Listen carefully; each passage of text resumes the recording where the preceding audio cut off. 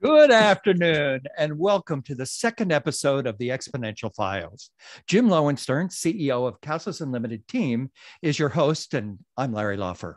The real estate industry has been around since the early 1900s. In 1960, 16, the industry practitioners got together and set a series of rules and guidelines. That's what a realtor is. In the 1970s, REMAX embraced the women's movement and gave women an opportunity to work in, at the highest levels in real estate. In the 1980s, Keller Williams changed the industry again when it offered residual income for recruiting agents. This residual income is based on profit share and not revenue share. They're different. We'll get to that later. Then along comes Zillow, and they snuck in behind the lines and made a deal to put all of the MLS listings on their site to promote more eyeballs. Eyeballs.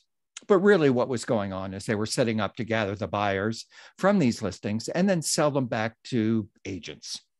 In the last several years, some deep pocket tech people have created some agencies where they offer top agents money to jump ship and work for their company. Well, EXP changed all of that. They've changed the market again.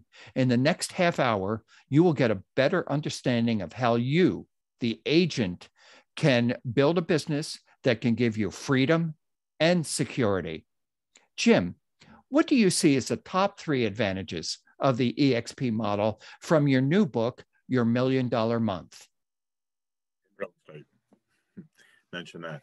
Uh, three three advantages. Um, well, uh, I I think their um, EXP has changed the definition of of income for real estate agents. Um, it was always linear.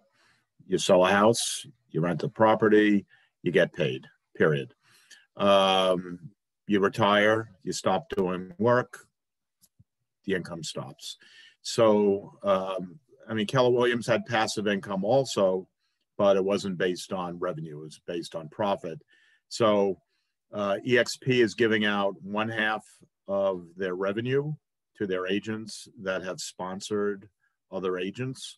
So uh, it's it's a huge number and has um, created a retirement fund for agents. So that's that's one big thing uh, the metaverse, the omniverse, uh, the virtual reality, EXP world uh, was way ahead of um, Mark Zuckerberg's uh, idea. Uh, it, it, it's it's kind of a, a, modest company with incredible tech, uh, so that that's certainly one way. Um, trying to think of the the third way. Well, I'll just say Castles Unlimited is, is changing it in a third way. So uh, looking at EXP not as a broker, but as a platform to look at their business model and their tech functionality as, as tools for any brokerage where they can still hold on to their uh, trademarks, their branding. And uh, EXP is, is the platform uh, to do that on. It's right. not a franchise. Uh, the barrier to entry is almost zero dollars and zero commitment. Uh, they want everyone to be happy, but if you're not happy, uh, my guess is because you just didn't have uh, the product explained properly, and maybe you didn't have the right sponsor. But um, you know that's that's sort of what we're doing right now with Castles Unlimited. Um, making our agents and then all of their team members that they're being chosen as sponsors for uh, equity owners in the company. So that's well, three things. Yeah, that's uh, that's beyond three, and um, let's drill down a little bit uh, in that. Uh, first, revenue share versus profit share. Uh, profit share is like that Hollywood game. Oh, you have some back end money but the accountants can figure out are we profitable are we not profitable but revenue versus gross Exactly. Revenue Yeah. share is top line. It's So- gross. So uh, that is a much better share to have uh, because it's and it's not a affected. transparent number. It does not Exactly. change because the owner of the office uh, went out and he has a uh, lease on a Mercedes now that has to be written off. Yeah, exactly. And we're, we're not saying they all do that, but we're saying that that is an issue. No, but that's but that's what net is. Uh, you have business expenses. I mean, whatever. It could be the office. You know, it, could be any expense. And EXP said, you know what? The way we're going to grow is to say no offices. Oh, we have Regus offices all over the world. You can go to those. Um, but even before the pandemic, where everyone was working at home and forced to work at home in, in countries all over the world, um, EXP said, you know what? With the technology, supercomputers the- in the, the palm of our hand. Oh, that's a, there you go. I know. Uh, you know, uh, do we do we really need to be sitting behind a desk at an at a at a location different than our home office? And the answer is no. And well, the world that- has changed big. It, has yeah, changed all that overhead is is saved. All that expense is saved. And what they say is, rather than spending all that money on the offices, we'll give that back to the agents. Now, with our company, Castles Unlimited, we do have those brick and mortar offices, but they're really not necessary other than the fact that just after operating this way for 36 years, it's just hard to turn turn off all that marketing and promotion and compliance and you know back back uh, back office support for the agents Well, it's not that EXP doesn't have uh, offices. They do. They have a deal with with um, uh, Regus. You know, thousands of offices all over the country. You can find some place to to park and meet with your clients and do closings and things like that. and there are and there are companies and offices uh, such as castles unlimited where there are brick and mortar and i have agents that you know decide and exp allows them in mls to pick any office they want um, i had one pop up and i reached out to her and we came out with a little agreement um, i'll never do it again it was a great learning experience and um, i don't I'm know confused about what you're talking about. That makes no sense. What are you saying? Okay, so MLS rosters, you, you, you know, you go into MLS and you'd go Mhm. Newton EXP and there'd be a roster there with agents. Oh yeah, yeah, Your yeah. name would be on our roster. Yeah. Well, her name showed up one day and I contacted her and I made a, a deal with her. She, she isn't really in our, on our team or anything, but two days later, she's calling me up and said, where are my, where are my referrals? She wanted her, she wanted to know where her referrals were. Now, not only have I never met her, not only do I not think that she's capable, but that's another story. She's only been in the business for a year, probably hasn't done very much, but she lives in another state on top of it. She lives in Connecticut. So she's gone. My my my learning experience is, you know, no good deeds go unpunished, that kind of thing. I just let them be. You want to be on our roster? Fine. That's fine. That's that, that's it. You know, I, ca- I can't I can't really help them. Well, um, yeah, there are some people that you can't help. That Uh, that is if if there's any kind of of of deficiency in the overall EXP model, and and all I'm saying is Glenn Sanford, genius, genius, genius. Um, it's just that that you you cannot really you know there are uh, sponsorships and there's uh, downlines and uh, all the money flows up uh, but if if someone's in a different downline, um, th- there's no money there. You know, There- you can't recruit someone that's already been recruited, so to speak, and Okay. there's no money to flow to you at all if they're in somebody else's downline. So that's that's just the uh, what you're talking about here is sponsorship jim. And so let's define what sponsorship is and why it's important to have the right sponsor because you're you're talking around it. So a sponsor is someone who invites you into the company and is there for you when you need training when you need questions answered. And it it's not the the first person you spoke to. It's someone that you trust and believe can help you grow your own personal business and for but me sponsorship it can also be the people above your sponsor as well. So in my case um, the sponsor i picked uh, brought a lot to the table, but it was the people above um, her that that really had uh, all the experience and the training that they were offering and the mentoring and the coaching and and, and so much yeah yeah um, well uh, i have had uh, i was keller williams agent for a long time um, I did sponsor people uh, into the company. Uh, those people actually came over with me when when I came over here. But I think um, when those people call me and they have a question, I'm there for them because uh, one of the things I've learned about EXP is um, I was in a number of different brands, and you're sitting in your office and it's very private. You don't want to know people sitting around you know who's your client list and all of that because sometimes people will will go in and try and scoop that out from you. I have not found anything like that in EXP. Granted, I'm talking to people outside my area. What, what's your uh, what do you think? Well, uh, well, let's just go to the stock. Um, you know, if, if everybody's um, getting stock in a company that's traded publicly, you want the stock value to stay uh, stable or or rise. Um, in the case of uh, stock, they they give you stock uh, when someone uses that chooses you as a sponsor sells their first property their first transaction. You get stock when you have your first transaction every year, and you get stock when you cap.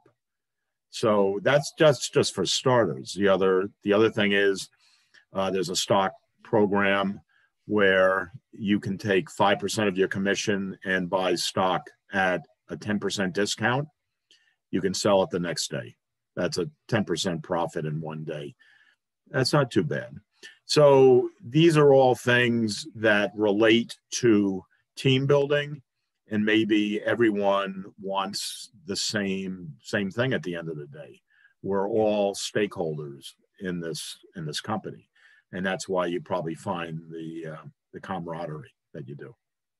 I, the other interesting thing is that every uh, agency franchise I've ever worked with, they all talk about how they're the best educators, and they usually it's it's someone who's a, a good agent in their office will begin teaching what they know from that office. At EXP, they have on any given day as many as fifty teachers from across the country, high end teachers who you can just sit in with. You don't have to pay for, you're an EXP agent. You can listen to uh, them talking about whatever aspect where you want to grow your downline, you want to build a um, uh, uh, landing page, all of these things. It's there for you whenever you want it. You don't have to go to the office. You can you can sit there and do that. I think that's a huge advantage.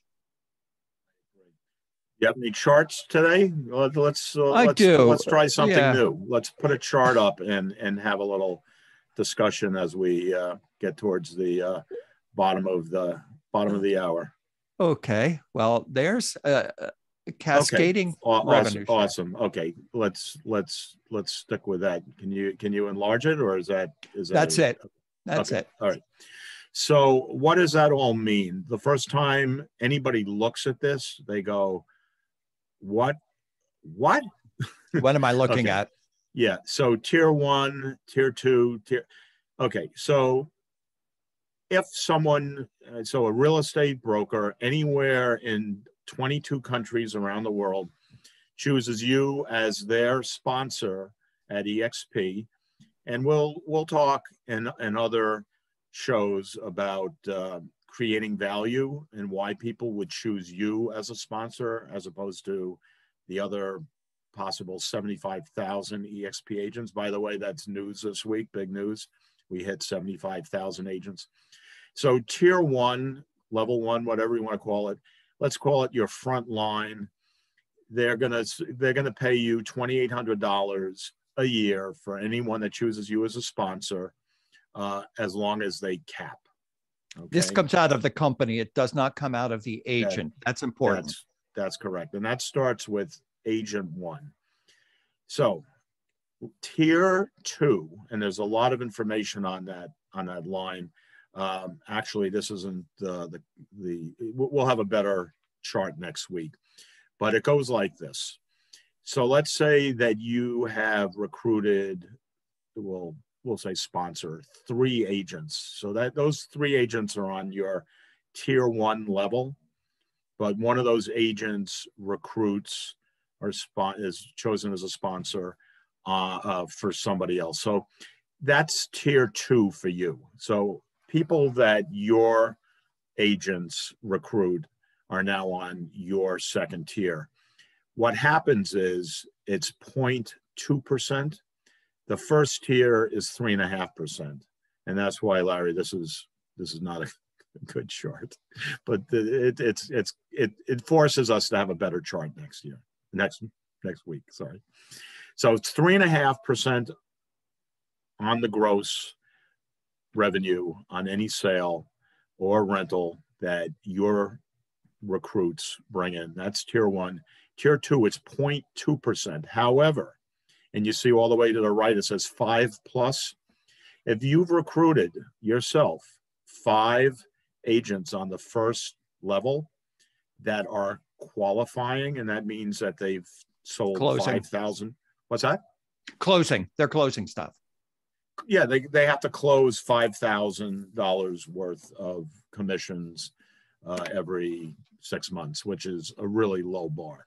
Yeah. But if you've recruited five or more, that 0.2% on, on the second level goes to, um, what does it go? It goes to 4%. So that's a 20x increase in that revenue. So let's say that you've recruited enough people, you made $100 one month on tier two, and you had only four qualifying agents on your first level. Now you now you have five. You recruited one more person in the month of February. That that hundred dollars now is what is it? Twenty times a hundred. What's that? Is that two thousand? Two thousand. Yeah. So that hundred dollars you got last month just became two thousand. You did the same amount of work, other than you brought in one more person, and that's it. So that's part of the genius of this system is that each time you you look at the revenue coming off of a different level, uh, you can you can have the incentive to bring in some more people. And I have actually seen their leaderboard where you know if someone brought in like one or two more agents, they would be literally making like a hundred thousand dollars more a year. That's incredible. So each tier there, it's just, you know, the people you recruited recruit people, right. they recruit people, and so on and so forth. Right, right.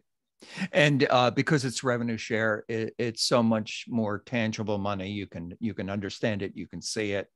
Um, one of the problems uh, with recruiting other ages is it's a different job than than buying or selling a house, working with them. It's a different kind of um, understanding.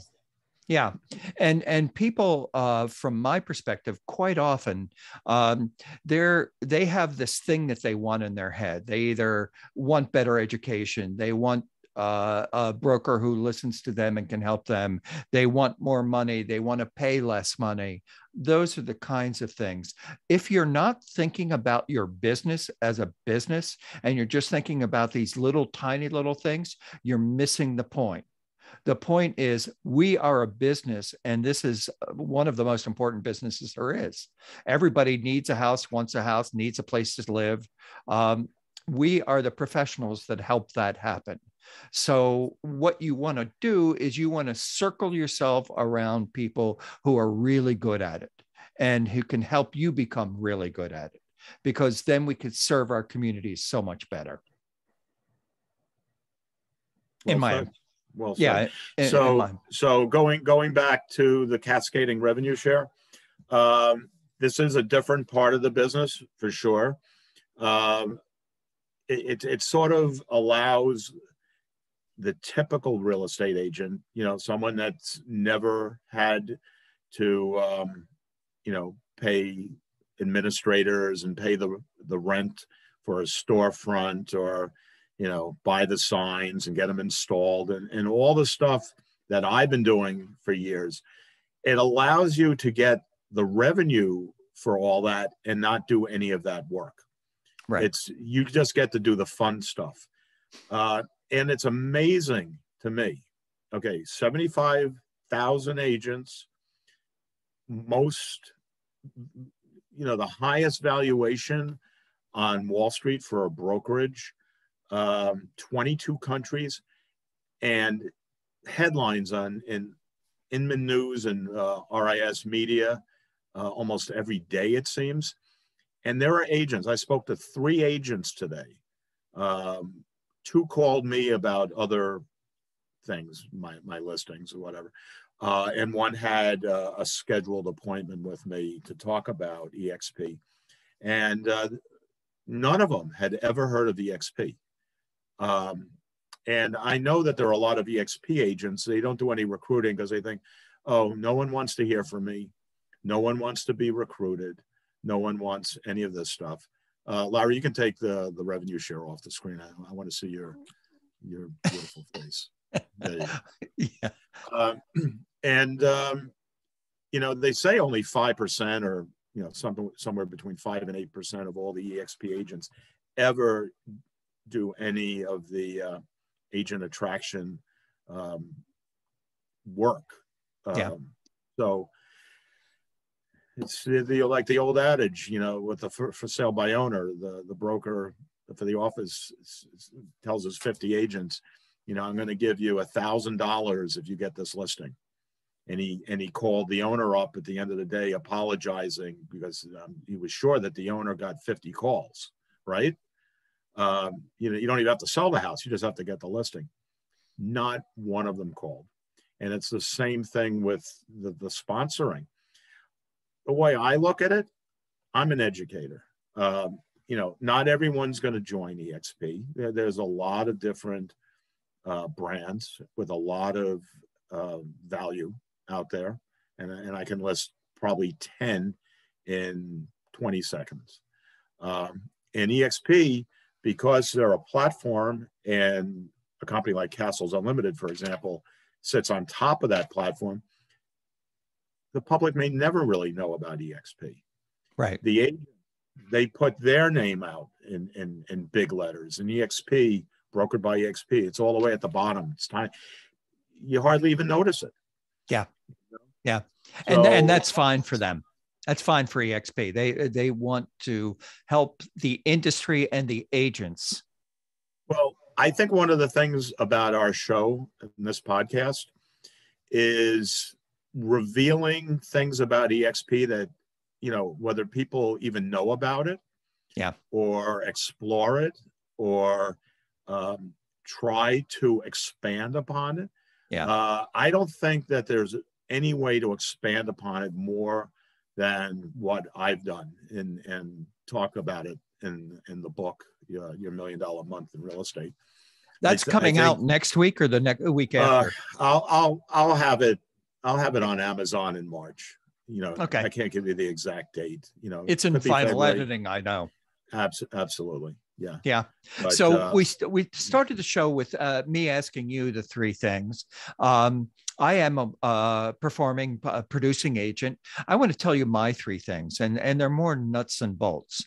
So before I was part of EXP, I had I used BombBomb for my video. I had an email uh, system that I paid for monthly. I had a CRM that I paid for. Um, I had uh, marketing that I paid for. When I came to EXP, they gave me all of that You know, there was over $500 I was spending at EXP, and I wasn't even with the top, the best stuff, um, like kvCORE is. Um, kvCORE itself is over 300 bucks. Um, I get it all for $85. I saved hundreds of dollars, thousands of dollars in a year. And all I did was was come over to a better place that had better technology. I uh, um, there And a business model that allows you a re- retirement. exactly exactly There's, there's no there's there's no competition. Nobody else is doing this. and I've been in the in the business a while, and I always dealt with it linearly. Uh, I have to save my commissions. Now I'm I'm I'm also still saving, but now I'm I'm being helped by my company because they're sharing in their revenue, and that allows me to actually have an exit strategy. I just have to build it up and help people along the way. I love what I do. I love this industry. Um, and I can do it until I'm much older than I am right now. But after a while, my wife loves the beach. I love the beach too. Well, passive income, uh, you can't Yeah. do better than that. Yeah. You, you you've done your work, and now your your time is your own. And I always answer my phone anyway. So I can be anywhere and help you answer a question. And Glenn Sanford does all the unfun stuff, while we get to do the fun stuff. The fun Well- stuff is telling people about this this company. Yeah. Yeah. So um, if you have We'll any a better questions, chart next week. It'll it'll it'll be awesome. So uh, in behalf of uh, Jim Lowenstern, your host, he's on the top here, and I'm Larry Lawfer. Uh, uh, thank you so much for listening. And uh, if you have any questions, you can reach out to us. We're we're everywhere out there in social media, um, or you can just uh, give us a call. Our phone numbers are there too. So, how do you like the new music? That's that's rocking. Is that it?